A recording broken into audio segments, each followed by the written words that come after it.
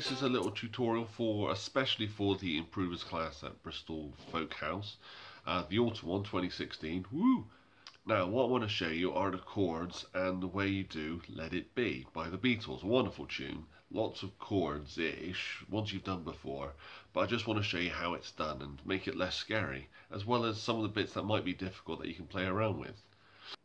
Okay, these are the chords which I've shown you previously. The C chord with the ring finger like this, the F chord,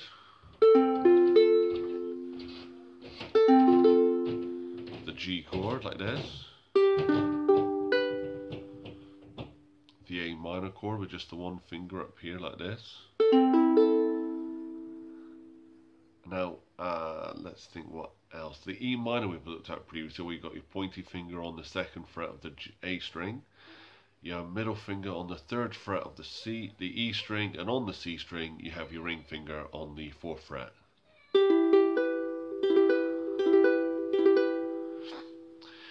And we also have a D minor, which we might not have seen, we may not have seen before, which is simple. It's a bit like the F chord with an extra finger underneath. I'll show you.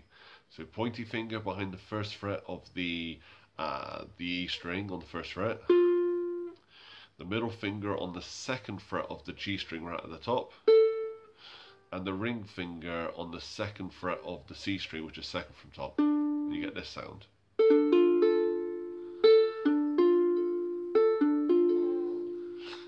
And finally, a chord we haven't done before and we don't have to do because it can take some time is a B flat.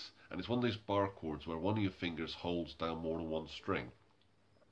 So you put your pointy finger and hold down the E string and the A string, so the two bottom ones with your pointy finger. You put your middle finger behind the second fret of the C string and you put your ring finger on the third fret of the G string and you get this sound. This will take some time just because it does for a lot of people. Sometimes you might get a kind of sound or don't worry just keep playing with it um, or just miss it out for the time being but don't run away from it it's always available it's always possible Okay, um, and this is how the song goes. Uh, I'll just show you the verse and the chorus. One, two, three.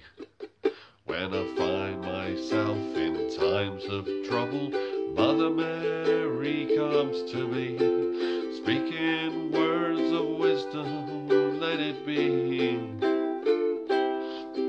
And in my hour of darkness, she is standing right in front of me.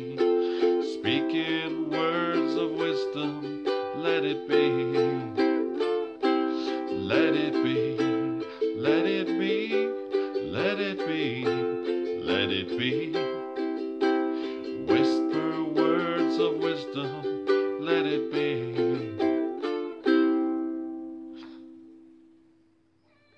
So that's it really. There's a lot of quick changes. The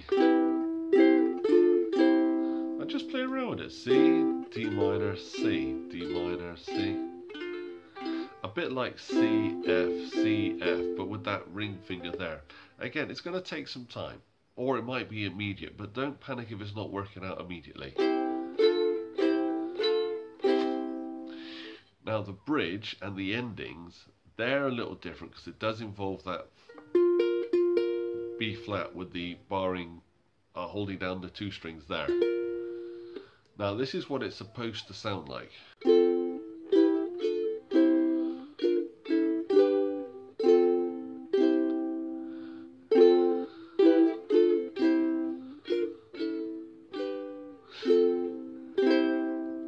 Yes, not the most straightforward, but it's one of those what I call a homework project. It's not something you do a lot at home, but something you mess around with, something you play around and eventually it comes through. Um, we have those kind of pieces of music at home, no matter how uh, experienced you are, but you have that piece of music you've been playing around with and so on. It like the Crazy G. It's going to happen. It's going to happen. Just keep playing. Keep playing.